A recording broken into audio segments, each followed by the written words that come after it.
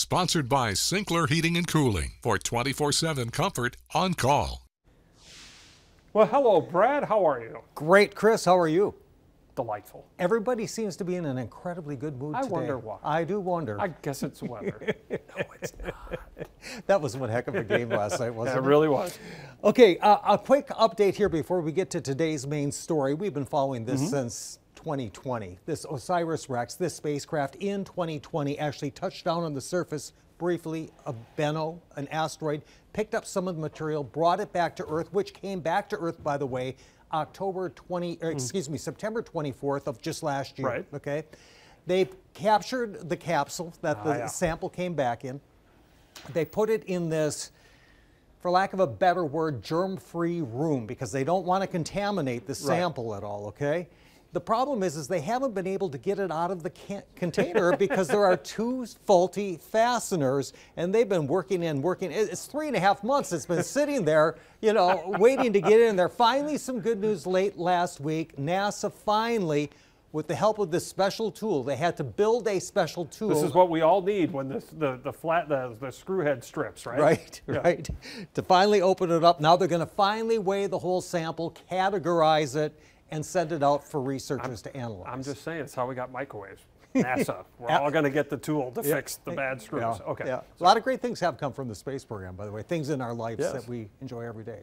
All right, on to uh, today's main story. Genesis Systems, this is actually their web page when you go there. A new age in water, they say. It's a startup out of Florida. They are working on solving water scarcity. How are they doing this? Well, they have this gadget that's about the size of an air conditioner. This gadget, by the way, was one of the big hits at the Consumer Electronics Show in Las Vegas just a couple of weeks ago. Okay.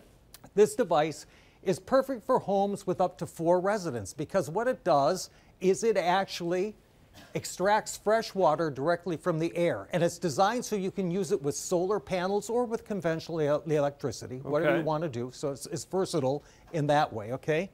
It can produce 120 gallons of water per day. What? So some people, you know, if you live in a humid area, you could conceivably go totally off the water grid. I can understand why this is in Florida. Well, yes, but globally, this Sure. is, this is game-changing technology. Okay, think of this with this solar off-grid usage, Chris. You could build a little cabin up in the mountains. Not worry about bringing electricity in. If you use solar panels and a battery, you don't have to dig a well now. This thing will get you 120 gallons of water every day. You can go totally off the grid. It's really, really amazing. Here's a little bit more. The water purity meets or exceeds EPA and National Science Foundation standards. The spokesman for the company, I read an interview with him. This is just sort of paraphrased, Sure. but this is important. There, at any given moment, are trillions of tons of untapped water in the air, specifically an estimated 3,100 cubic miles at any given time. Think about that. East coast to west coast, same in that direction, and that way upward. Remember, space is only 60 miles up. You're going 3,100 miles. There's a lot of water in the atmosphere. Sure. So, and as soon as you take some out, because the atmosphere can hold more, it'll suck up more water. So it's, it's totally replenishable.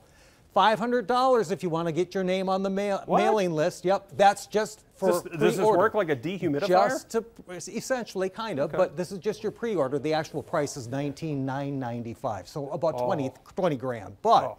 price will come down with time. But it's an amazing device. It really is. I'd love to. We should do more on this. I want to know how it works. All right, You I'll- have piqued my interest. all right, we'll find out. Uh, we'll charge it to the station, bring it in, we'll dismantle it, find out how that thing works. All right, Brad, thanks so much. Still to